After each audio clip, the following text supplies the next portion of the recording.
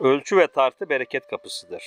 Anil Miktam ibni Ma'di Keribe anin Nebi sallallahu aleyhi ve sellem kale. Kilu ta'amekum yübarek leküm. Sadaka Resulullah. El Miktam bin Madi Kerib'den radıyallahu anh rivayet edildiğine göre Peygamber sallallahu aleyhi ve sellem şöyle buyurmuştur. Yiyeceklerinizi ölçünüz, tartınız ki sizin için bereketli olsun. Buhari buyu 52 nolu hadis-i şerif.